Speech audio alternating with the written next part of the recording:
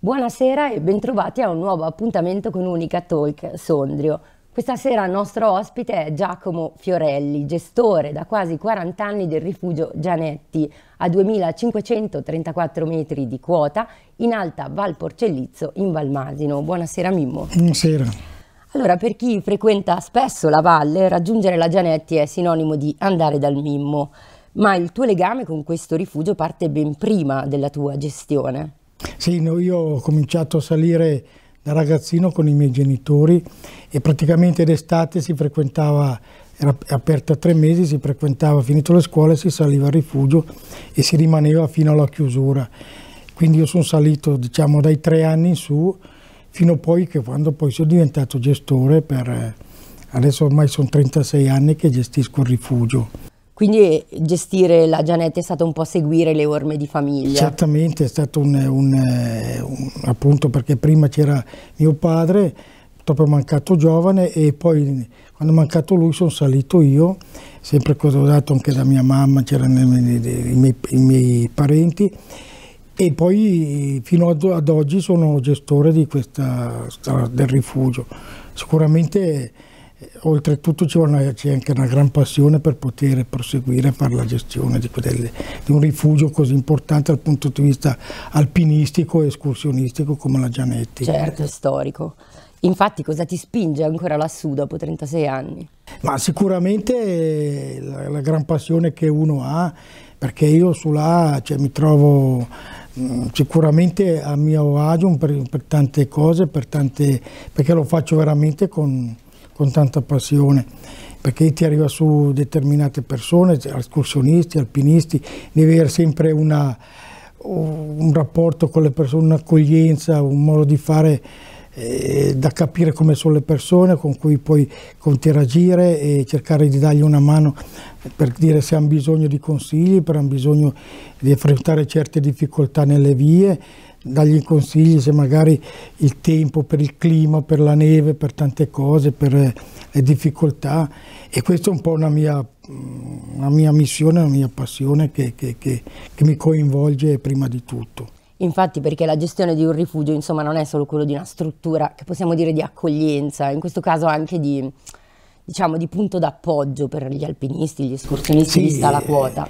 ma è proprio anche una, una questione di sicurezza e tu con tanti anni alle spalle di esperienza nel soccorso alpino, di certo sei pronto a questo. Sì, io eh, da questo punto di vista, eh, quando arrivano le persone che, che mm, vanno, da, cioè loro decidono magari di andare da qualche parte, eh, io li, li, magari mi chiedono, gli do dei consigli, eh, da seguire le, le, la, la, la, via, di seguire determinati punti di sicurezza.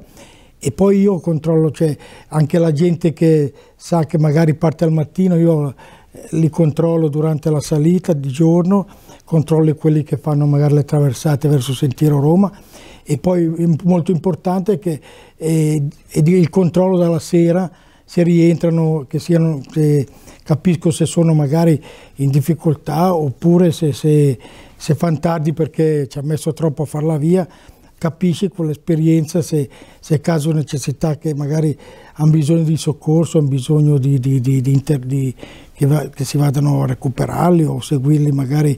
Adesso anche con, con il sistema dei cellulari si, sempre, si, può avere dei contatti in modo si possono seguire se ha sbagliato via o dargli, dargli dei consigli dove cercare il miglior modo per scendere. E poi visto che noi abbiamo Pizzo Badile, che è una cima importantissima, anche di notte venendo dal versante svizzero ti capita che tu devi controllare magari verso già buio, vedi le pile che scendono e anche lì devi sapere un po' eh, con l'esperienza che ci siamo fatti, che sono fatte in questi anni, capire se hanno una necessità oppure scendono tranquillamente, è solo il dovuto del ritardo che hanno fatto a, a prendere il buio. Ecco.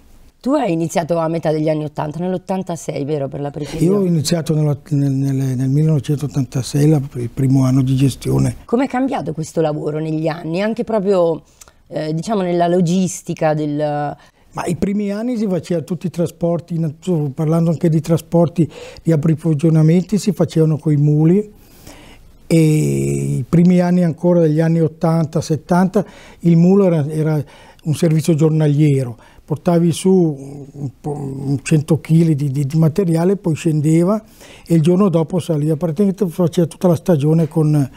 Poi passando gli anni sono, sono intervenuti un po' i trasporti con gli elicotteri, con gli elicotteri che però non si facevano trasporti come al giorno d'oggi, ma si facevano trasporti magari un po' di roba all'inizio, un po' il grosso, e poi dopo c'era sempre i trasporti eh, infrasettimanali, magari una volta alla settimana con i cavalli.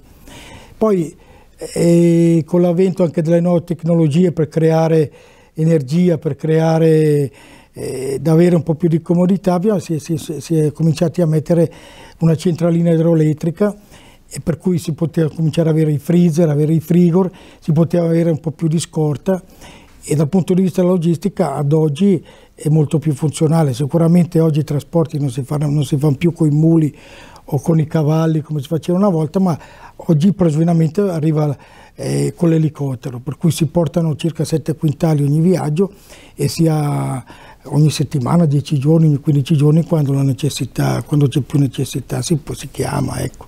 Senti, in quasi 40 anni sarà cambiata anche la tipologia di persone che frequenta la Gianetti? Eh, sì, in questi anni, ricordo i primi anni quando ero ancora con quando c'era ancora mio padre, così che si andava su, eh, le persone erano prettamente alpinistiche o po pochi escursionisti perché il sentiero Roma, quei sentieri lì erano meno frequentati.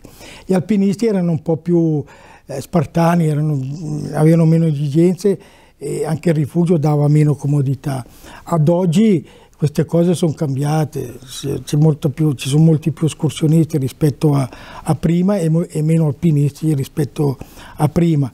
Oggi sicuramente abbiamo più comodità per gli ospiti, abbiamo le docce, abbiamo l'acqua calda nelle camere, abbiamo la luce completa nelle camere, c'è il servizio, c'è anche internet, ci sono più e poi dopo anche anche i approvvigionamenti con l'elicottero hai più possibilità di dare dei menu migliori, delle, delle, eh, del, dei cibi migliori e, e, quindi un servizio molto più, oggi è molto più, come si dice, positivo rispetto a una volta.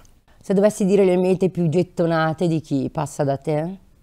Ma da noi, eh, dal punto di vista alpinistico, direi che la cima più importante è il Pizzo Badile poi da su ci sono anche altre vie, c'è il famoso Spigolo Vinci, ci sono delle, delle, delle salite che diciamo che sono frequentatissime. Eh, e poi dopo abbiamo anche il, il, versante svizzero del Pizzo Badile dove c'è la Cassin, che la maggior parte delle persone scendono verso il nostro, il nostro rifugio, dormono lì e poi scendono, tornano in Svizzera il giorno dopo, oppure scendono giù, prendono i taxi. Poi dopo c'è il famoso Sentiero Roma, che è una tappa, la Gianetti è una tappa diciamo intermedia, che però è una tappa diciamo, che, che, è quella che fa dopo il Brasca, c'è la Gianetti, sono tappe dove si fermano in tutti i rifugi. E ultimamente, dopo che c'è il percorso, c'è la gara al percorso del trofeo Chima, e quindi anche dal punto di vista escursionistico eh, è aumentata molto la, la, la, il passaggio. Ecco. Mimo, si parla tanto del, dei cambiamenti climatici, no? Tu trascorri tre mesi, tra l'altro senza mai scendere, vero? Io non scendo mai. Eh. Ti proprio il tuo eremo. Io salgo a metà giugno normalmente e fino intorno al 20 di settembre non scendo, non scendo mai. Quindi passi un'intera stagione, quella estiva, a oltre 2500 metri, un balcone anche per l'osservazione dei luoghi che tu conosci da decenni, no? eh, vedi i segni di questi cambiamenti climatici? Sì, noi vediamo questi cambiamenti climatici, li vediamo, ho cominciato a notarli con molta più insistenza negli ultimi 10-15 anni, diciamo, c'è stato proprio un regredire eh, mm, ogni anno de, de, de, eh, dei ghiacciai, delle, della neve, dei, di tante cose di, di questo genere, l'acqua, i torrenti che una volta erano sempre pieni, adesso ormai sono ridotti proprio a, a, ruscelletti proprio minimi. Non vediamo, non...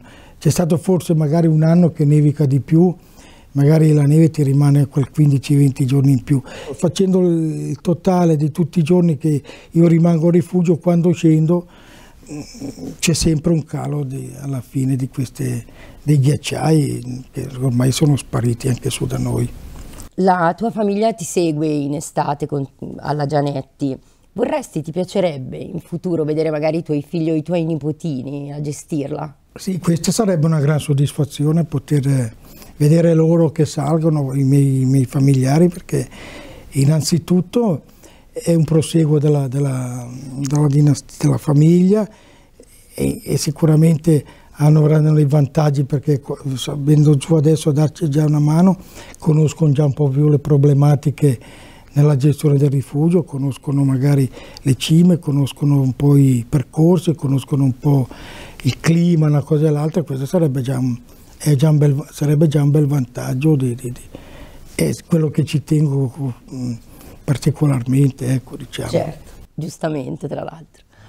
Uh, siamo a febbraio ancora presto, però uh, si comincia già, cominci già ad organizzarti per la salita che sarà, dicevi, verso metà giugno. Sì, poi. metà giugno noi facciamo le, le, intorno al 15, dopo si vedrà, e magari fa, fa avanti così, magari si sale anche qualche giorno prima. Però già adesso noi già dobbiamo pensare un po', si pensa già alla, a, a quello che devi preparare per la prossima stagione, il personale allora, buona stagione, anche se ancora un po' presto. Grazie. Grazie, è stato un Grazie piacere averti qua. Grazie. A tutti voi una buona serata e l'appuntamento con Unica Talk è alla prossima settimana.